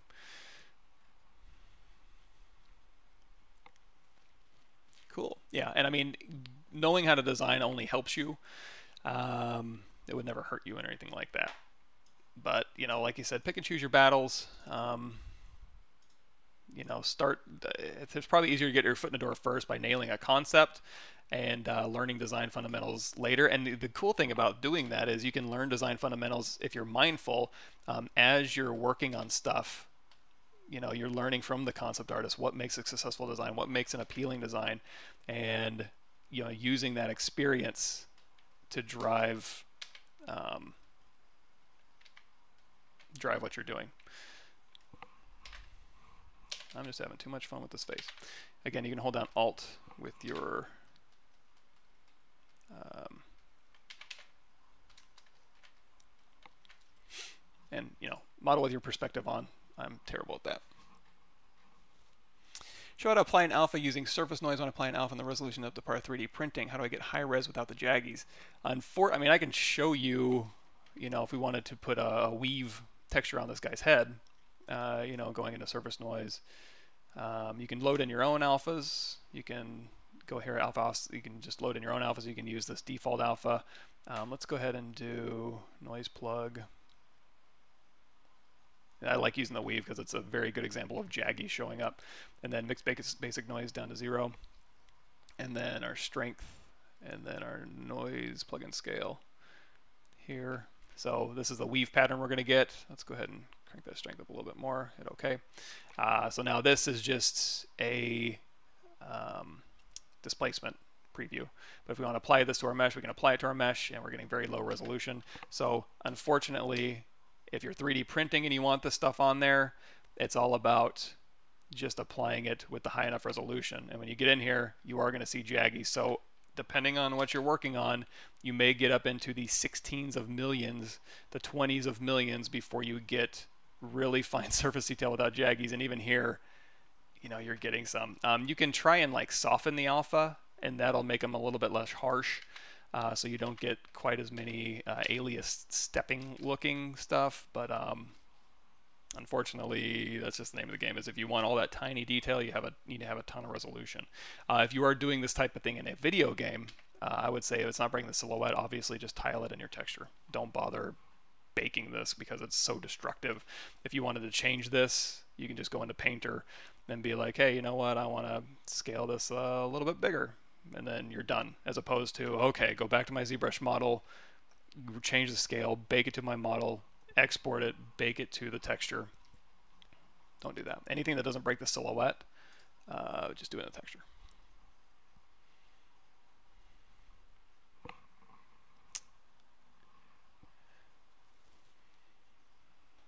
Cool. Um, this question about rendering in ZBrush. Can you explain why or why not to render in ZBrush or go for KeyShot? Uh, kind of depends on what you want to use. Uh, speaking of, if you go to my YouTube channel or ZBrush for Ideation, I have it in there as well, at least in the later chapters. If you go in here, there is a KeyShot, ZBrush to KeyShot Bridge quick start, and there's also a ZBrush image-based lighting. So image-based lighting, we go through and we load in HDR images.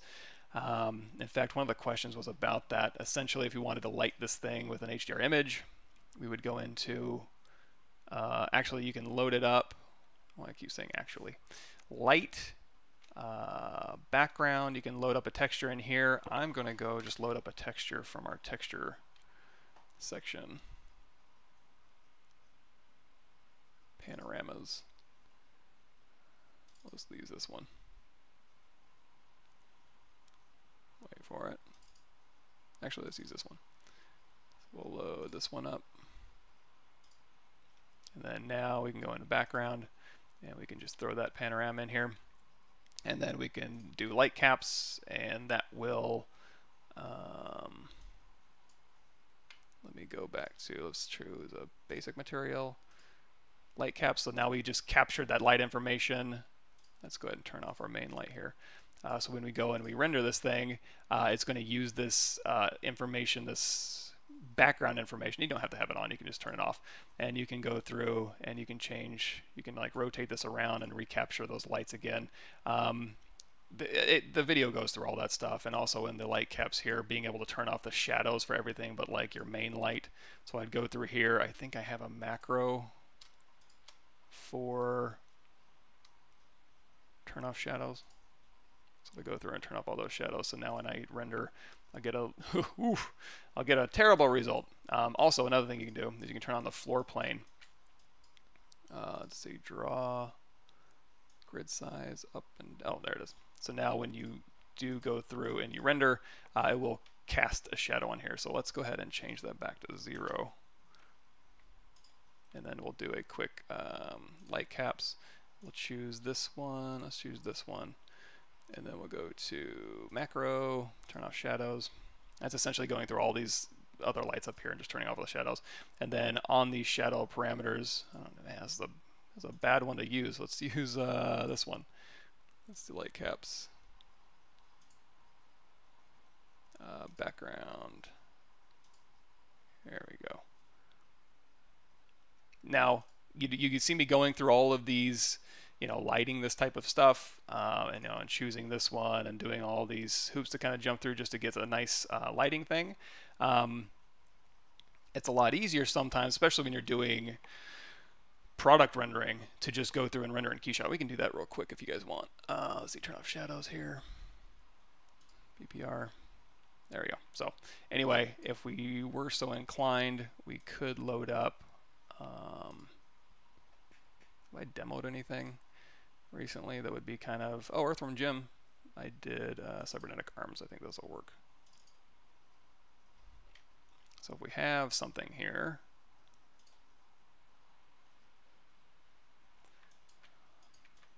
and we want to go ahead and just like render this in Keyshot, uh, that would just be a matter of going into render, external Render, Keyshot, and then just hit BPR to load up Keyshot for us. And the cool thing about my computer is when we go into Keyshot, it uses the hell out of my cores. I have a lot of them. I have 2990WX Threadripper, so it it uses cores for shores. In fact, uh, I'm going to change my CPU usage down just so we're, we're streaming. Let's drop that down to like 88%. Okay, you guys should be able to see this-ish. So now we have our object here. And uh, then when we go through here, and the cool thing about this is we can go in here to materials and really quickly, if we want to do um, rough shiny plastic, we can just drag it on there and then we have plastic we can go through and change our environment. So you can see it's a lot faster, it's a lot easier to go through and choose different environments uh, and get different effects here like so, and then we can go in here to environment and turn on just a color background reflections update and all that good stuff. Um, also, if we go in here to materials, now let's just do a plastic blue for this hand here, and then we'll go to materials here. And then we'll go to our metals. And you can go through these metals and just choose whatever you want, but um, this will do nickel. That's a little bit gross. Let's do iron.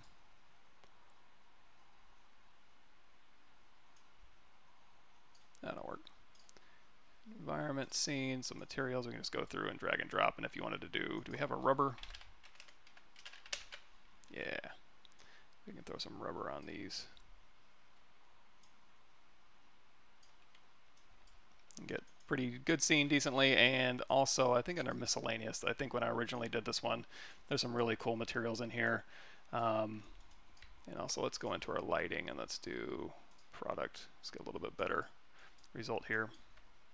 Very quickly get a nice render out of that. I prefer working with perspective off. I almost hard, I hardly ever turn perspective on unless I'm trying to match something specific, and then I'll use camera view and stuff. Um, worth investing in Marvelous Designer as it's only 240 instead of 490. Oh, it is. I would grab it. Marvelous Designer for clothing. Can't beat it. As a, especially as a production artist, like yeah, any any clothing stuff is done in Marvelous Designer, primary and secondary forms. It's fabulous.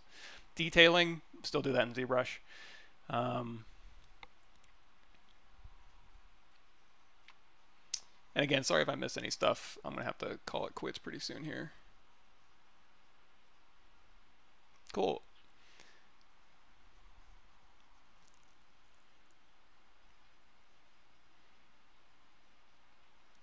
Um, you know, and again, well, it kind of depends on what you want to render in. In fact, um, you can render high-res stuff in Marmoset if you wanted to. You can export your 20 million polygon mesh and take that into Marmoset and uh, render that out. Um, it's it's uh, totally doable. Uh, but if now here's the thing: this the more box modellery it is, uh, the better time Keyshot's going to have. If you have something really concepty, it's a little more, it's a little unforgiving when it comes to, you know, if you do a lot of clean modeling with nice clean bubbles and stuff, it'll do it like these nice clean booleans. It renders really well. Um, it's a little less forgiving, like I said, when it comes to, um,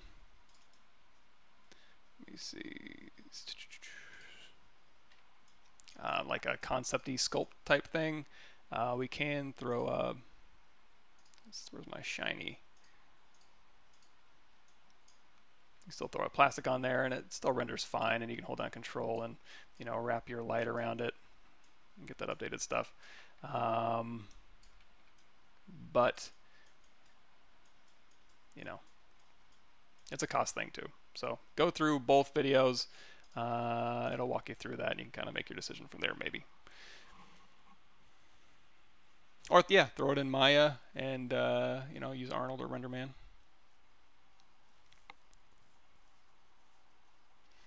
Uh, Real says, uh, "Are you good to be back on a semi-decent upload schedule again?"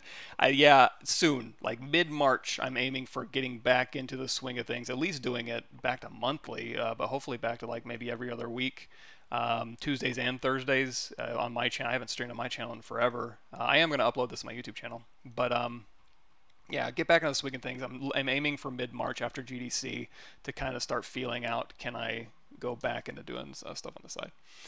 Uh, huge inspiration and work motivation for me. Not even joking. Oh, thanks for the kind words. Uh, glad I could I could help in any way I can. I don't know if I'm overly inspirational, uh, especially with my early morning streams, but uh, if it helps. Yeah, uh, and I haven't moved yet, but I am moving soon. So that's part of the debacle too. Is like once I get moved to my new house and I have internet, um, I should be good to go. Cool. I'm gonna see. Did I miss anything in here? I'm gonna restart ZBrush.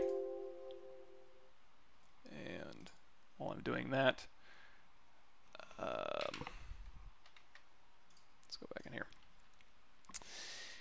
Uh, ZModeler, so ZModeler brush is BZM. That's the ZModeler brush. Uh, when I drag out my polygons don't snap to the plane, they hover above. So when you're doing, so let's very quickly, so we want to make an insert mesh brush. So I'm going to drag out a cylinder here, go into edit mode. Let's initialize. Um, let's do 16 and 4. And let's go in here to make Polymesh 3D. Another thing I like is let's go ahead and do uh, group by normals. Let me move this down, it's distracting me. Um, so there's a mesh fusion in here. So if we go in here and we grab our Polymesh 3D and we hit BI brush insert boolean, I love using um, you know these shapes in here. So if we if we have uh, W selected, we can actually just cycle through these different objects here. So if you find one that you like, you can just grab it, steal it, Control Shift, grab this one. We can do delete hidden. Or if before we delete, if you grab a piece and you want to shrink it, Control Shift S to shrink, and then delete hidden. So then we can make an insert mesh brush out of this. Brush, create insert mesh new, and you have you can use mesh fusion functionality in here because we have a polygroup here. If I just and we don't have Dynamesh turned on. Do not have Dynamesh turned on for this. You can drag this out, and then you can control drag, control drag again, and it'll automatically interpolate that. Now you're going to see it kind of smeared my edges there, turn off the smooth modifier, and now it'll go through and make sure that this thing uh, subdivides correctly. So we can continue modeling, insert multiple edge loops here. And we can do this, and then we can say inset polygroup all, and let's do a region. And you know, let's do another region, and let's do QMesh polygroup all, and then hold down shift just to pull that back, and then we'll just go ahead and increase polygroups, dynamic, smooth subdiv 3, or crease level of 3, smooth level of 4. Uh, if that's too tight, crease level of 2, smooth level of 3. Let's try that. There you go. So this can be our insert mesh brush. We're going to hover to the top here, hit B, create insert mesh, new. And then I forgot what I was doing. Oh, yeah, they don't snap to the plane. So let's say I take another cylinder here, and this is going to be what we're going to be modeling on. And you drag it out, and it's and uh, on this case, it is stuck to the plane. However, if you go over here to your depth with that brush selected, you're going to see if your depth is um, like in too much, it'll be kind of buried in the plane. Uh, here it's perfectly touching the plane, so we're good. Uh, but you can go through here and just move that depth down if you wanted to go drag out to the middle. It'll it'll be able to do that. Um, also, with any insert mesh brushes you do, you can always go into your stroke menu, turn on curve mode, and now you can drag um, these objects out on a curve. And if you want to control that a little bit more, in my ZBrush Summit 2018, go down way down here. There's one called Controlling Curves. way down here uh, controlling curve techniques. It's all in there. It's also in my um, my class as well. You can go through here, and if you want to do something very specific, in fact, let's do um, let's grab a sphere.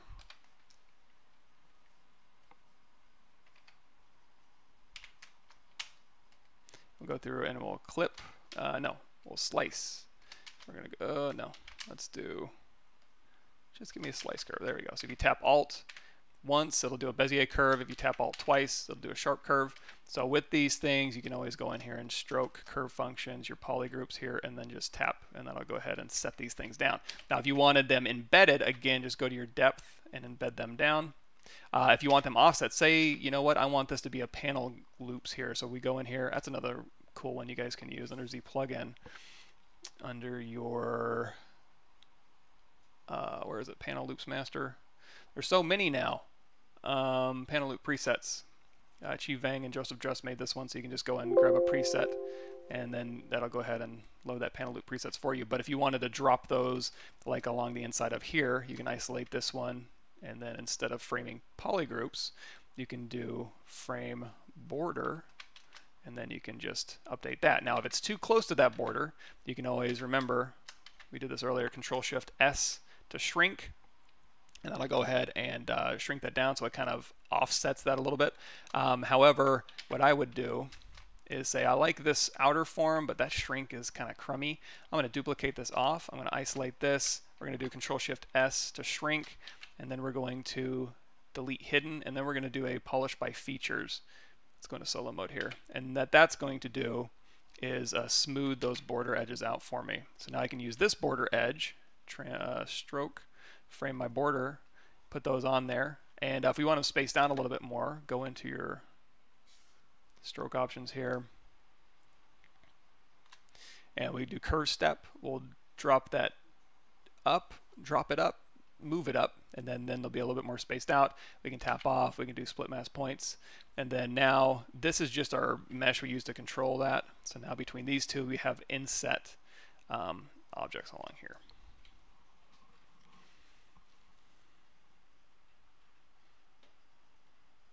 Cool. Yeah, and uh, you know, hard surface modeling, um, you know, I, I, approach that from a lot of different angles. So on my ArtStation page, you can kind of see a little bit of my thought process if you go through.